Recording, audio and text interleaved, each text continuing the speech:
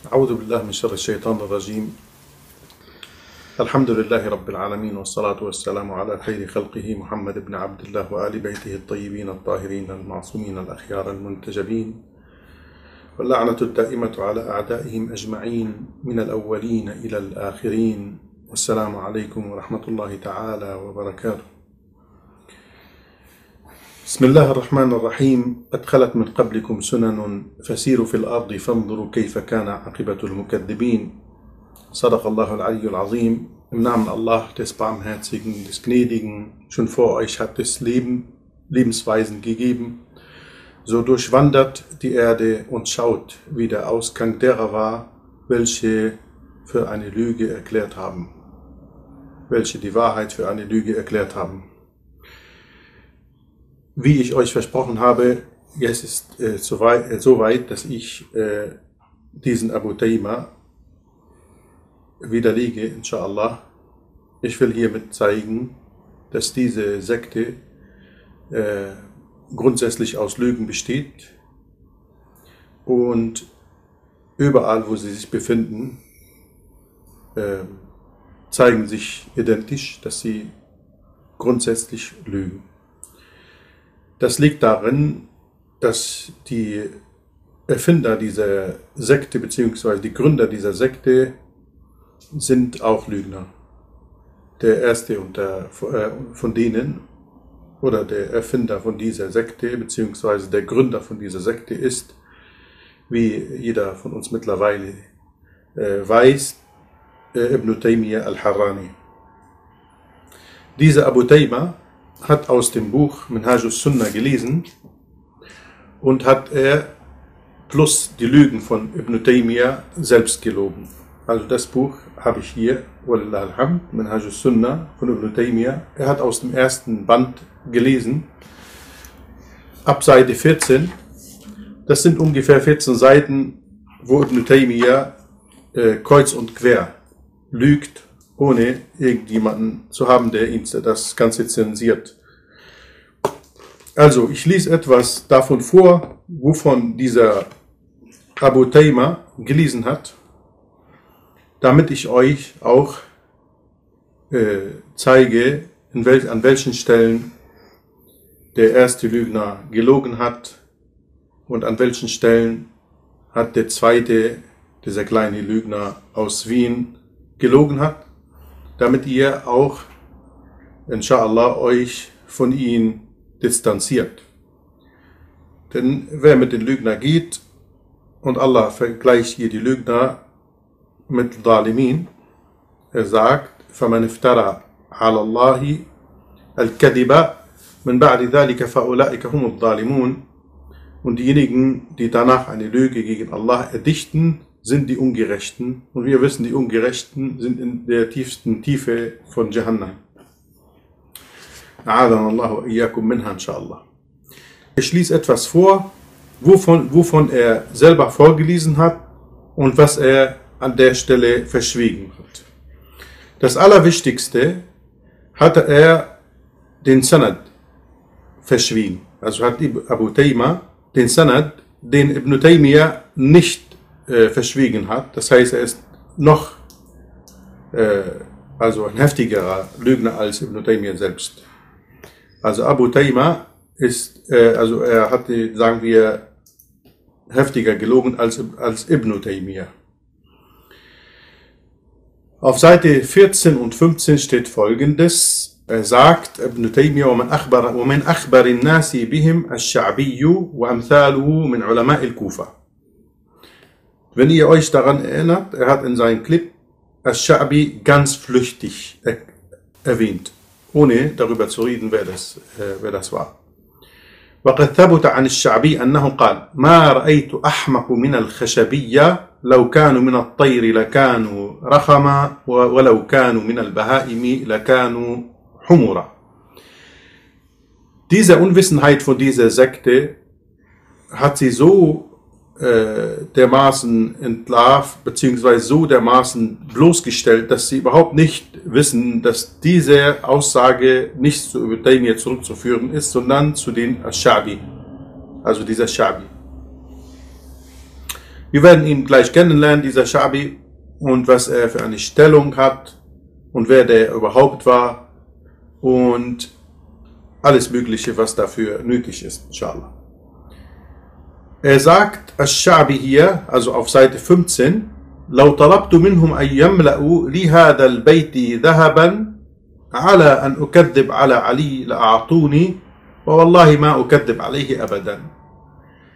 Hier sagt dieser Ash-Sha'bi, also in Minhaj sunnah er sagt, ich habe nicht Nara gesehen als die Khashabiyya, die zu den Holz zurückzuführen sind. Das sind welche, die mit Khashabiyya erwähnt wurden oder äh, bekannt waren.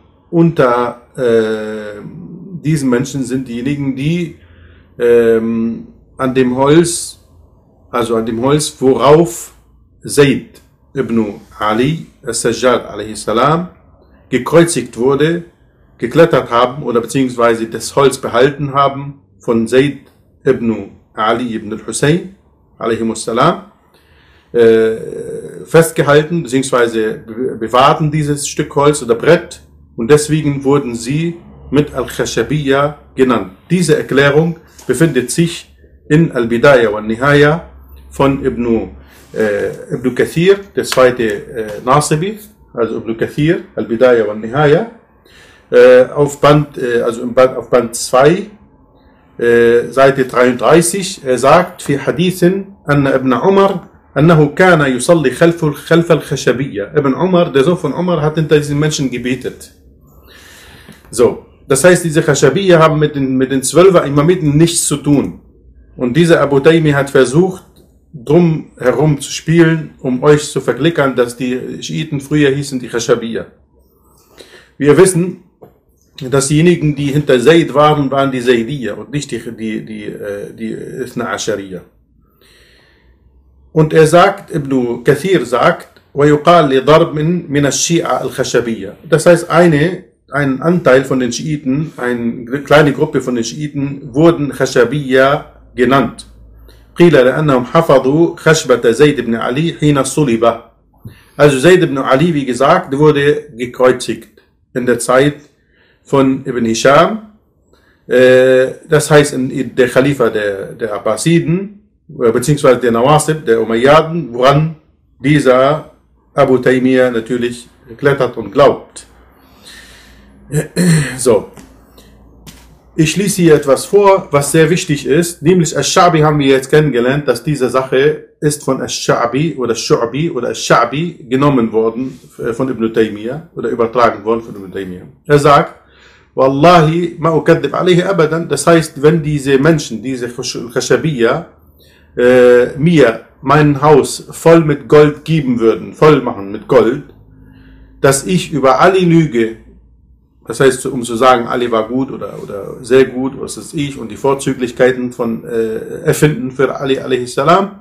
Und sie werden das machen, sie würden das machen sogar, wallahi ma alayhi abadan. Ich werde das nicht tun. Das heißt, ich werde nicht über ihn lügen. So, und er sagt aber hier, وقد روى هذا الكلام er meint الشعبي روى هذا الكلام مبسوطا عنه أكثر من هذا لكن الأظهر أن المبسوط من كلام غيره Das heißt, hier ist, ist keine Sicherheit, dass das von Shabi stammt. Das, was er euch hier verschwiegen hat, das heißt, kann sein, oder beziehungsweise Al-Adhar, wahrscheinlich, dass diese, diese, dieses, diesem Buch, wovon, äh, wo drin steht, dass Shabi dies und jenes gesagt hat, wahrscheinlich, das ist nicht von Al-Shabi,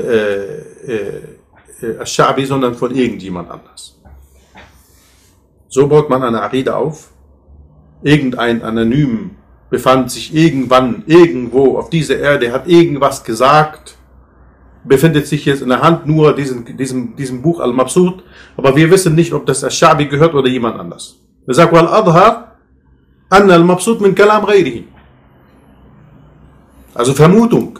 So, erstmal was das angeht, wir haben mit dieser Khashabiyya nichts zu tun und sie haben auch mit uns nichts zu tun und Abdullah bin Umar hat hinter diesen Menschen gebetet der äh, diese Khashabiyya erfunden hat, beziehungsweise der sie äh, geführt hat, war Al-Mukhtar ibn Ubaid. Hinter ihn hat Abdullah bin Umar gebetet, der Imam der Sunna von Al-Ahl Sunna wal Jama'a. Sagt auch, كما روى أبو حفص بن شاهين في كتاب اللطيف في السنة. ابن تيمية erzählt, حدثنا محمد بن أبي القاسم بن هارون حدثنا أحمد بن الوليد الواسطي حدثنا جعفر بن نصير الطوسي الواسطي عن عبد الرحمن عبد, عبد الرحمن بن مالك بن مغول. Das ist der zweite Name, den wir uns merken müssen. Also hier auf Seite 15, ich weiß nicht, wie weit man das sehen kann. Also hier auf Seite 15, ne, Nachdu Kalam al-Qadariya. So, dann lese ich hier etwas, zeige ich nur den Namen, damit ihr euch das merkt. So, äh, die, das ist die zweite Übertragung. Die erste Übertragung auch von Ibn al-Mirwal. Dieser Abdurrahman ibn Malik ibn Mirwal. Abdurrahman ibn Malik ibn Mirwal. An Abi über seinen Vater. قال قال لي الشعبي الشعبي das hier nochmal الشعبي Die erste Überlieferung von Al-Shabi, die zweite Überlieferung, äh, die Behauptung von Al-Shabi. Und hier nochmal Abdurrahman ibn Malik ibn Mirwal. So. Er erklärt über seinen Vater, über Al-Shabi. Er sagt, أحذركم هذه الأهواء المضلة وشرها الرافضة. So, شرها الرافضة. Bitte merken, hier. الرافضة الشعبي عبد الرحمن ibn Mirwal. Diese drei Fakten, die brauchen wir, um zu sehen, wie heftig die Lüge von Ibn Taymiyyah, sowie von Ibn Taymiyyah als auch von, von Abu Taymah. So. Wie lese ich weiter und übersetze ich dann, inshallah, قال لي الشعبي, der Vater von Abdurrahman ibn, Abd, äh, ibn Malik ibn Mirwal, hat seinen Sohn, also hat ihn erzählt, über الشعبي, أحذركم هذه الأهواء الضالة المضلة وشرها الرافضة لم يدخل في الإسلام رغبة das heißt er warnt uns vor das Übel der Rafida er meint sie sind nur in den Islam hineingetreten oder haben sie den Islam äh, aufgenommen nicht aus äh, Glaube oder aus Angst halber sondern damit sie den Islam und die Muslime äh, zerstören. Und Ali a.s. hätte sie, hätte diesen Menschen, die Rafida, mit dem Feuer verbrannt. Wanafahum hat sie ins Exil geschickt, also ins Ausland geschickt. Unter denen war Abdullah ibn Saba, Yahudi min Yahud Sana'a, نفاه إلى صابات وعبد الله بن يسار نفاه إلى خازر und so weiter und so fort. Und der liest, wer fängt er sein, sein, sein, sein, äh, sein Clip so an. وآية ذلك أن محنة الرافضة محنة اليهود قالت اليهود لا يصلح المل الملك هو er hat gesagt الملك er hat falsch gelesen لا يصلح الملك إلا في آل داود وقالت الرافضة لا تصلح الإمامة إلا في ولد علي اليهود haben gesagt, er sagt Mihnat al-Rafida, das heißt die Krise der von den Rafida, das ist alles über Al-Sha'bi durch wem? Durch Abdul Rahman ibn Malik ibn Mirwal. So. Jetzt wollen wir Abdul Rahman ibn Malik ibn Mirwal kennenlernen. Was steht in den Büchern der Ahl Sunnah wa Jama'a? In einem Buch heißt Kitab Sunnah auf Band, also Band 3, Seite 498 und Tarikh Baghdad, Band 9, Seite 340 und Kitab al-Du'afa wal-Matrukin Ibn al-Jawzi, Band 1, Seite 99 und Tarikh Baghdad, Band 10, Seite 237, Al-Du'afa lil-Uqayli, Band 2, Seite 345. Lesen wir folgendes in Kitab al-Sunnah, قال أبو علي صالح بن محمد عن عبد عبد الرحمن بن مالك بن مغول من من من أكذب الناس من أكذب الناس die Experten der Sunna wal Jama'a sagen der meist Lügner unter den Menschen ist Abdurrahman ibn Malik ibn Mirwal من أكذب الناس von den meist Lügner der am meisten Lügen von den Menschen ist Abdurrahman ibn Malik ibn Mirwal. Und Abu Zakaria hat gesagt, Abdurrahman ibn Malik ibn Mirwal, وقد رأيته ها هنا, ليس هو بشيء. Er sagt, Abdurrahman ibn Mirwal ist nichts. Das sind die Ulama, die Experten von Al-Sunnah wal Jama'a. Ulama, diejenigen, die forschen, also die Forscher, die Ahadith-Forscher, die in Ilm Experten sind, لأتسيلندس وقال يحيى بن معين قد رأيته وليس بثقة. وقال أيضا إذا ساين und ist unvertraubar وقال وقال إنه كذاب der ist ein Lügner und Abu Zur'a Abu Zur'a ist der Lehrer von البخاري sagt ليس بالقوي ist nicht stark Und Ahmad ibn Hanbal sagt, Mazzaqna, Mazzaqna Haditha, Mazzaqna. So, so haben wir mit seiner Ahadith gemacht. Mazzaqna Ahadithahu. Das heißt, wir haben seine, seine Ahadith zerrissen. So, und in die Mülltonne geschmissen und dann kommt Ibn Taymiyyah und übernimmt diese Überlieferungen von ihm über die Schiiten. Alhamdulillah, Alhamdulillah, dass ihr solche Quellen habt als ein, äh, auf, als ein Fundament, worauf ihr eure Aqidah baut. Und deswegen entsteht ein Gott im Himmel auf den Thron, unter seine Füße ist die Kursi, ist der Kursi, äh, legt sich hin, wackelt und lacht und so weiter und so fort. So, وقال محمد بن عمار الموصلي كان عبد الرحمن بن مالك بن مغول كذابا أفاكا لا يشك فيه أحد. Das heißt, keiner hat daran gezweifelt, dass er ein Lügner war. ليزا عبد الرحمن ابن مغول ديني قديفون الشعبي يبنو منها أنجيب ليش. وقال الجوزجاني ضعيف الأمر جدا. سيشفخ بس. زاني زخي انجيت وقال أبو داود سليمان بن الأشعث آية من الآمن من الآيات كذاب.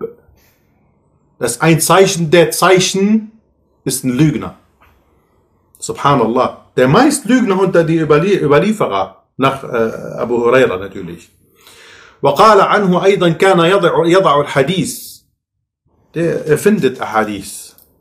وقال الداقطني متروك وقال البخاري حديثه ليس بشيء البخاري sagt حديثه ليس بشيء wo in التاريخ الكبير von البخاري Band 5 Seite 349 وقال ابن حبان كان ممن يروي عن الثقات المقلوبات وما لا أصل له من الأثبات تركه أحمد بن حنبل Das heißt, er hat das allerschwächste Sachen von den Überlieferer übernommen, was normalerweise kein, kein, keine Wurzel hat, also keinen Boden, keinen, kein Fundament hat. وقال السعدي ضعيف الأمر جدا وقال النسائي Laysa bithiqa. Subhanallah, all die Gelehrten von den Sunniten haben diesen Mensch angefochten. Und Ibn Taymiyyah übernimmt von ihm diese Überlieferungen, um zu zeigen, dass die Schiiten so und so gewesen wären. Und wir werden jede einzelne Sache, was hier behauptet wird, inshallah, an den nächsten Aufnahmen widerlegen. Und wir gehen, wir werden euch zeigen, die, der Fiqh der Schiiten aus den sunnitischen Quellen, inshallah. Alles, was wir glauben, hat Wurzeln in den sunnitischen Quellen und das soll ein Beweis für jeden, der nach Wahrheit sucht. So.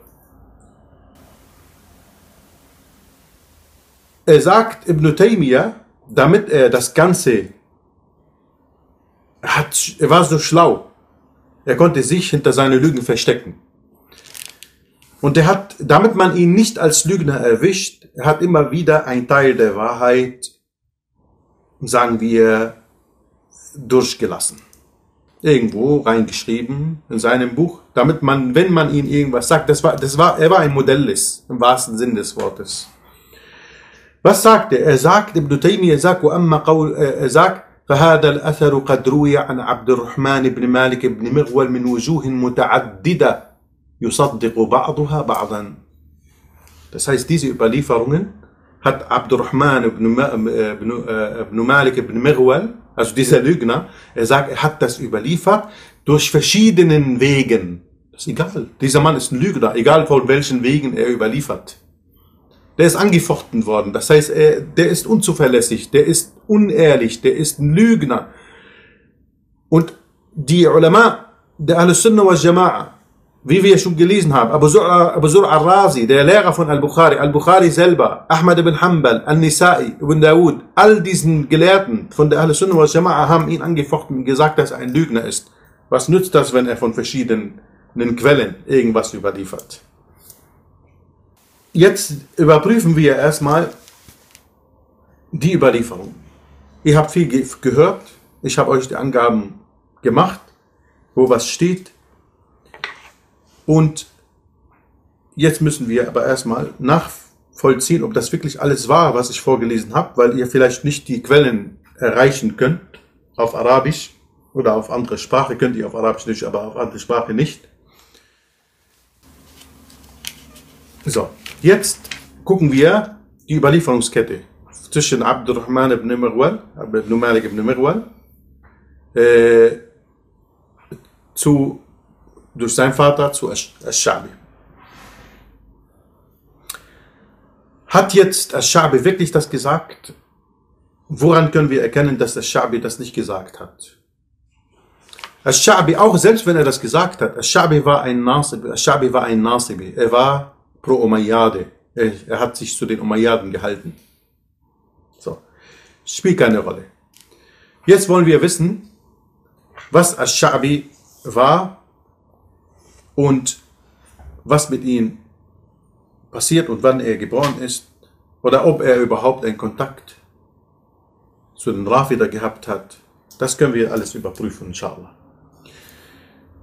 Also, damit wir das zeigen können, wollen wir was gucken in Al-Bidayah und Nihaya von Ibn Kathir von diesem Mann, Al-Sha'bi. So. Al-Sha'bi lesen wir in Al-Bidayah und Nihaya über Al-Sha'bi. Das ist Band 5, also Mujallad 5.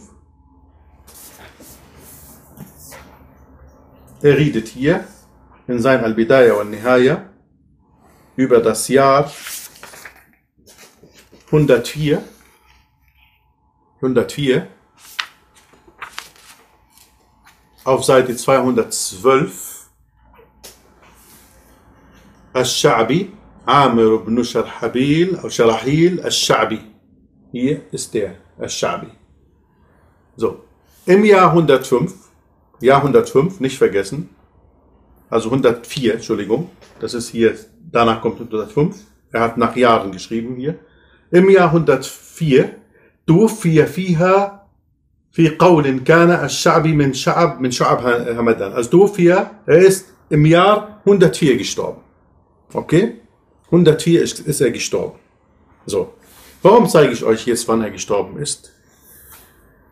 Damit wir wissen, ob er überhaupt äh, in der Zeit gelebt hat, wo diesen Begriff Arafida erfunden wurde. Oder zur Welt gekommen wäre in dem gleichen Buch von Ibn, von, von Ibn Kathir lesen wir auf Seite 206 vom Band, also 200, äh, das war 212, 6, äh, 306, Entschuldigung, 306. So hier lesen wir. ثم دخلت سنة 22 ومائة. Das heißt 122 nach Hijra. ففيها كان مقتل زيد بن علي بن الحسين بن علي بن أبي طالب. An diesem Jahr ist die Ermordung von Zayd ibn Ali ist an diesem, in diesem Jahr gestorben. Zayd ibn Ali wurde ermordet. وكان سبب ذلك أنه لما أخذ البيع ممن بايعه من أهل الكوفة أمرهم في أول هذه السنة بالخروج والتأهب so so so erzählt er jetzt hier lesen wir weiter äh, so er sagt فتركوه فلهذا سموا الرافضة من يومئذ also in diesem Jahr zwei, also 122 entstand dieser Name Al-Rafida. Entstand dieser Name Al-Rafida, weil Zayd ibn Ali hätte angeblich radiallahu anhu für Abu Bakr und Umar gesagt und einige haben ihn abgelehnt und deswegen wurden sie Al-Rafida genannt. Hier Ibn Kathir sagt das. Okay. Das heißt, wenn Al-Zayd ibn Ali im Jahr 122 gestorben ist, vor ihm starb doch dieser Shabi. Und in diesem Jahr wurde erst diesen, diesem Wort erfunden, Al-Rafida. Das heißt, dieses Wort befand sich nicht in der Zeit von Al-Sha'bi noch. Wie konnte Al-Sha'bi in Ibn Taymiyyah, in seinem Buch in Minhaj al-Sunnah, das Wort Al-Rafida erwähnen oder erwähnt haben? Der ist doch in 104 gestorben. Das heißt, vor, vor Ali, Ali Ali, Zayd, Zayd ibn Ali, vor Zayd ibn Ali in fast 18 Jahren. Wie kann er das gewusst haben, dass damals Rafida gelebt haben? Rafida kam in 18 Jahren später erst. Das heißt, dieses Wort Rafida hat Al-Shabi nicht in den Mund genommen und das ist ein Beweis, dass Ibn Mirwal gelogen hat. So die Frage, warum hat er überhaupt Ibn Taymiyyah das genommen von ihm? Warum? Damit er selber lügt. Damit das nicht herauskommt, falls jemand schlau ist in seiner Zeit und das nachvollziehen kann, dass er ein Lügner ist. Was hat er geschrieben? Nachdem er geschrieben hat, er sagt, وقد روى أبو القاسم الطبري في شرح أصول السنة نحو هذا الكلام من حديث وهب بن بقية الواسطي عن محمد بن البهلي und so weiter عن عبد الرحمن بن مالك بن مغول فهذا الأثر قد روي عن عبد الرحمن بن مالك بن مغول من وجوه متعددة يصدق بعضها بعضا das heißt wurde von verschiedenen Überlieferungsquellen durch Abdurrahman ibn Malik ibn Mughwal überliefert, diesen Lügner, was eine, was, äh, was eine Überlieferung die andere unterstützt. وبعضها يزيد على بعض. Das heißt, er hat nicht nur wenig gelogen, sondern häufig gelogen. لكن عبد هي لكن عبد الرحمن بن مغول ضعيف وذم الشعبي لهم ثابت من طرق أخرى Das heißt, aber Abdurrahman ibn Mirwal, falls man jetzt, warum schreibst du so 14 Seiten hier und dann am Ende sagst du, und alles ist, ist durch Abdurrahman ibn Mirwal überliefert. Und danach sagst du, er war daif. Er sagt nicht Lügner, Betrüger, ne? Äh, alles Mögliche, was, was, was ein, ein, ein, ein Unmensch haben kann, könnte. Jetzt, er gibt auch hier zu, Ibn Taymiyyah. Weil er merkt, das kann nicht sein, das ist eine Lüge, weil hier redet er über Rafida. Das heißt, all diese Behauptungen von dieser Abu Taymiyyah, Abu Taymiyyah sind in die Mülltonne zu schmeißen. Die haben keine, keine Grundlage. Überhaupt gar keine Grundlage. Nicht eine einzige. Warum? Weil er sagt hier, لكن لفظ الرافضة إنما ظهر لما رفضوا زيد بن علي بن الحسين في خلافة هشام. Das heißt, aber diese, diese, diesen Titel von Al-Rafida ist entstanden in der Zeit von Zayd ibn Ali ibn Hisham, في خلا, ibn Ali ibn, Ali ibn al-Husayn. في خلافة هشام وقصة زيد بن علي بن الحسين كانت بعد العشرين ومائة Er versucht zwei Jahre hier zu, zu, hier zu mogeln sozusagen, zu schummeln.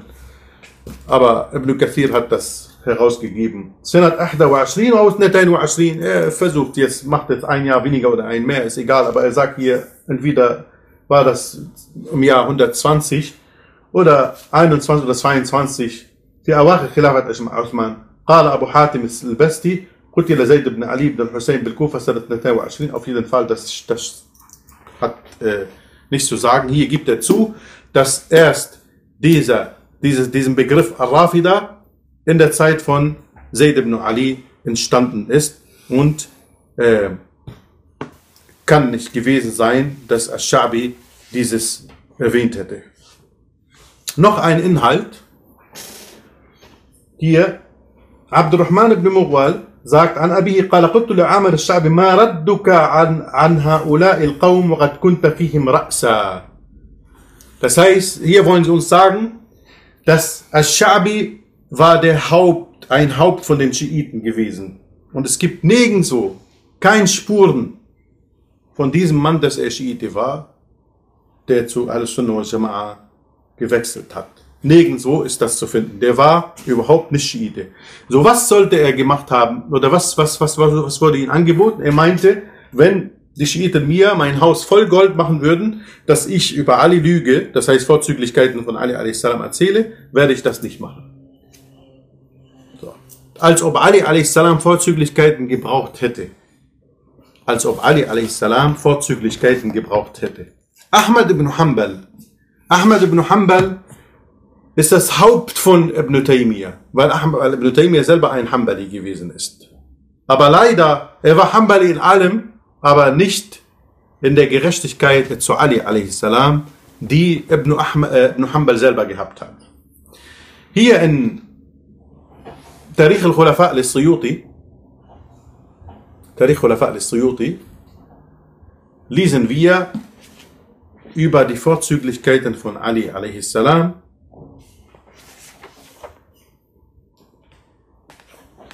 Was sagt As-Suyuti über Ahmad ibn Hanbal, das Haupt von Ibn Taymiyyah?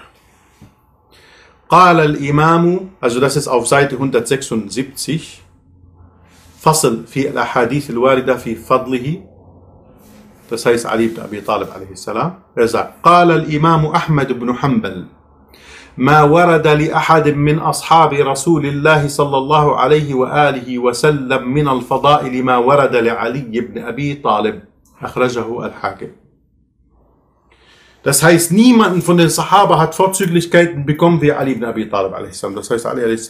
hätte dieser Schabe nicht gebraucht, selbst wenn das so wahr gewesen wäre.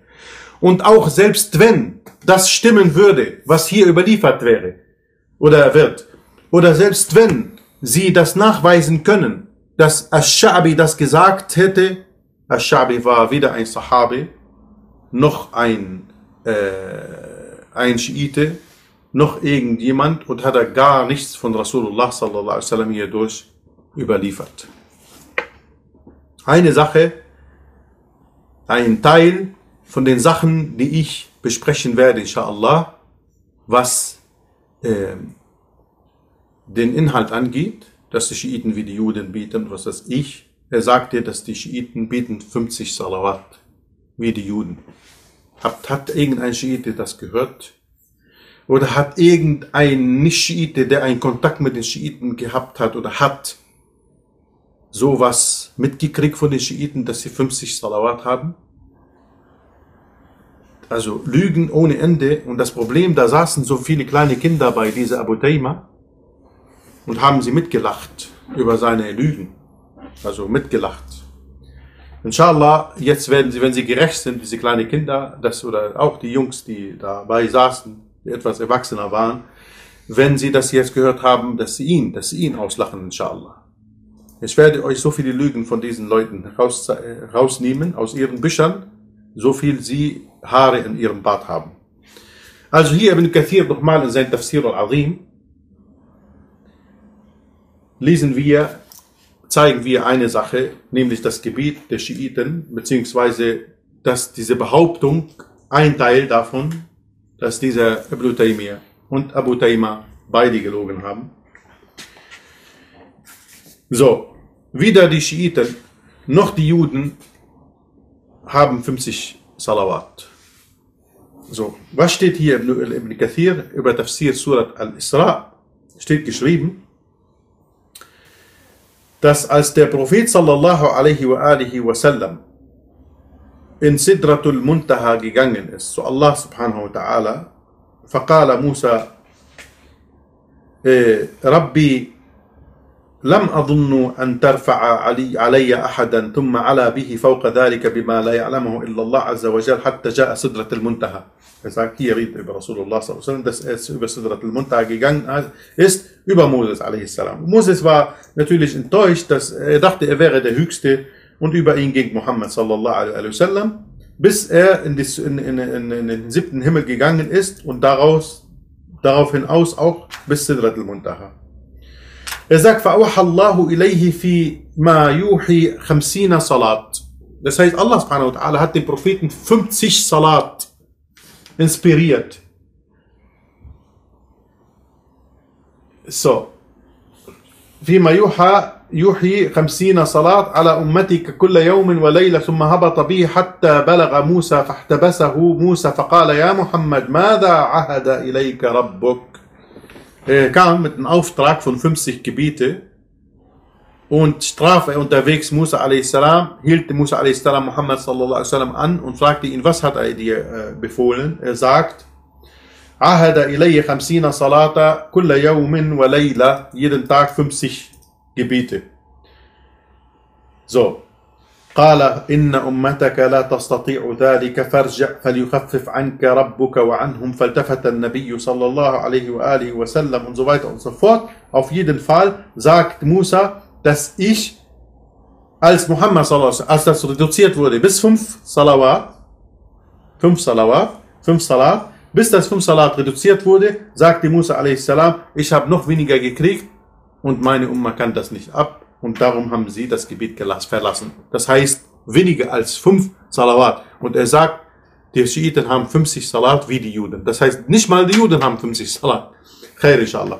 Das war erstmal äh, den ersten Teil zur Widerlegung von Abu Tayma und Ibn Taymiyyah. Und inshallah treffen wir uns das nächste Mal, wo wir über die Einzelheiten dieser Lügen, die, dieser Lügen, die sie äh, verbreiten, äh, hier in ihren Büchern, damit inshallah unsere Jugendlichen überall geschützt werden und die Jugendlichen, die wegen einem Bild äh, ihre Aqidah wechseln, das sind keine Menschen, die wirklich eine, einen festen Boden haben und deswegen ich sage, haltet euch auf dem Weg der Ahlul Bayt salam, einen besseren Weg werdet ihr nie im Leben finden und hiermit inshallah laden wir alle anderen äh, Nicht-Schiiten ein, zum Weg der Ahlul Bayt salam und das ist der Sirat al-Mustaqim. Wassalamu alaikum wa rahmatullahi ta'ala wa barakatuh.